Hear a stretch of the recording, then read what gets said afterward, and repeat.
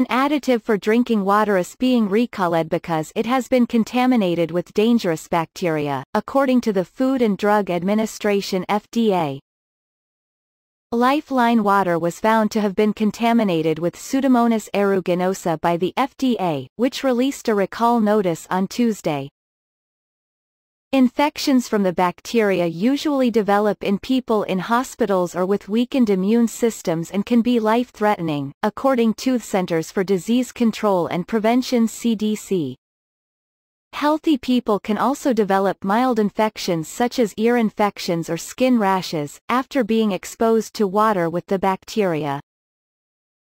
The company that sells Lifeline Water, McDaniel Lifeline LLC, is voluntarily recalling all lots of the additive. Use of the contaminated product has a remote probability of necessitating medical or surgical intervention to preclude or reverse permanent damage to a body structure or function, the FDA said in the notice. The company had not received negative reports about the product, according to the notice. It sold the additive online in the US and Canada. The FDA recommends that anyone with Lifeline water stop using the product and throw it away.